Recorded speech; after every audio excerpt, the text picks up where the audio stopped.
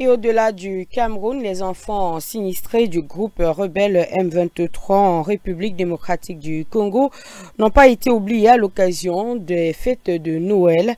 L'organisation Un jour euh, nouveau à l'est du pays a pensé aux déplacés de la localité de Kanya Rushinya en leur apportant des repas et surtout des cadeaux.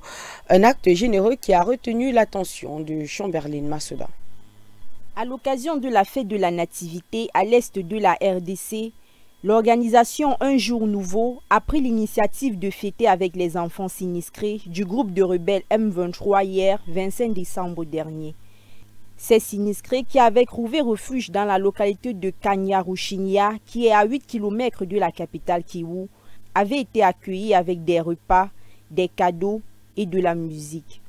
Cette initiative de l'organisation était venue à point car de nombreux parents se demandaient comment est-ce qu'ils allaient passer cette période de l'année. Ces rebelles du groupe M23 sont les principaux acteurs du trouble à l'est de la RDC, contraignant les habitants de la localité à fuir pour sauver leur vie. Avec une forte pression du gouvernement local pour qu'ils cessent cette terreur, ils se sont engagés à déposer leurs armes dans la localité de Kibumba, ce qui s'annonce bien pour certaines familles qui veulent tant rentrer chez eux.